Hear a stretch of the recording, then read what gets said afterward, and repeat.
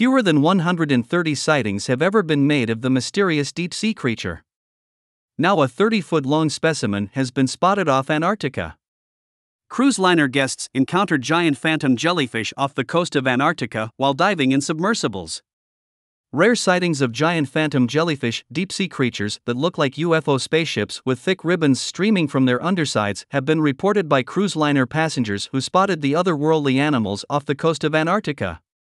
The giant phantom jellyfish, Stygiomedusa gigantea, one of the deep sea's largest invertebrate predators, met the guests while they were riding in a submersible deployed by cruise line operator Viking in early 2022.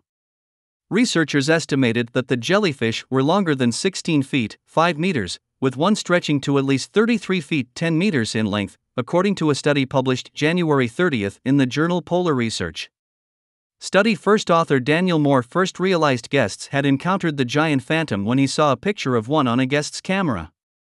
I instantly recognized it for what it was and, given the rarity of sightings, was flooded with excitement. Moore, one of Viking's chief scientists, Giant phantom jellyfish live in every ocean except for the Arctic Ocean.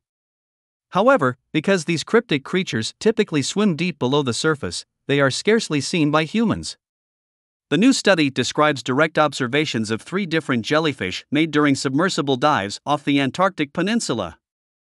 On every sighting, the jellyfish appears to be swimming slowly, gently pulsing its bell for propulsion, Moore said they don't appear to have shown any inclination towards the lights of the submersible or reaction to our presence.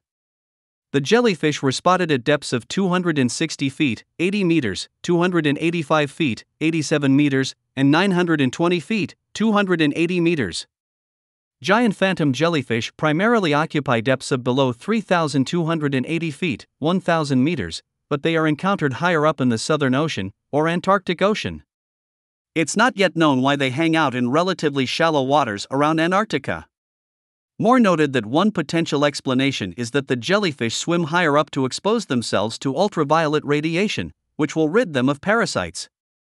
Another hypothesis put forward by Moore is that the upwelling deep water found around the Antarctic continent simply carries them upward. Moore hopes that their observations will lead to a better understanding of giant phantom jellyfish's lives. The practice of cruise lines taking passengers to Antarctica has attracted some controversy.